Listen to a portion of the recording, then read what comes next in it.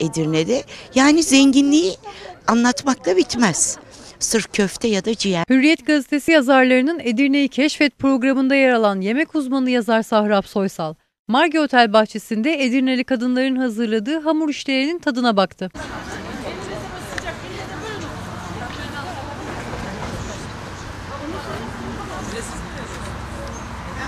Edirne Kadın Girişimciler Kurulu Başkanı Elmas Aslan'ın önderliğinde kurulan Kırsal'ın doğal pazarı kadınlarının yaptığı hamur işlerini çok beğendiğini söyleyen ünlü yazar Soysal, kentin tanıtımında ön sırada bulunan tava ciğer ve köftenin yanı sıra kente özgü diğer lezzetlerin de ortaya çıkarılması gerektiğini söyledi. Hemen ilk günden beri yemekleri araştırmaya başladım. Bir kere e, muhacir mutfağı, Balkan mutfakları var, Rumeli mutfağı var. Bir de e, saray mutfağı da var tabii Edirne'de. Yani zenginliği anlatmakla bitmez. Sırf köfte ya da ciğer değil burası. E, bütün bunları işte ortaya çıkarmaya çalışıyoruz.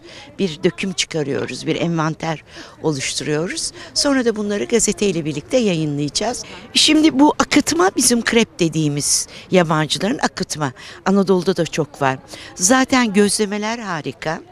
E, şimdi onu pişi ya da lokum onlar şey de diyorlar. Lokma diyorlar. Sizinkiler lokma diyorlar. Onu ezberlemem lazım. Ee, şimdi hamur işlerinin de tadına bakacağız. Ha, o lor, sütlü biberi çok seviyorum. Hani o lorun içindeki en güzel kahvaltılık bence. Hem sebze var hem içerisinde peynir var. Çok güzel. Edirne'den çok memnunum. Hep geleceğim. Edirne Kadın Girişimciler Kurulu Başkanı Elmas Aslan da Kırsal'ın doğal pazarı kadınlarının hazırladığı sabah kahvaltısında yazarları ağırlamaktan mutlu olduklarını söyledi. Elime göz nuru bugün bu gözlemeyi, lokmaları kadının elinden görme imkanları var.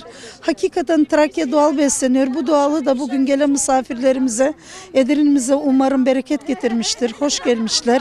Bu bereketi de kadınların elinden misafirlerle paylaşma gereği duydum. Ünlü yemek uzmanı Sahrap Soysal kahvaltı sonrasında kadınlarla bol bol fotoğraf çektirdi. Ama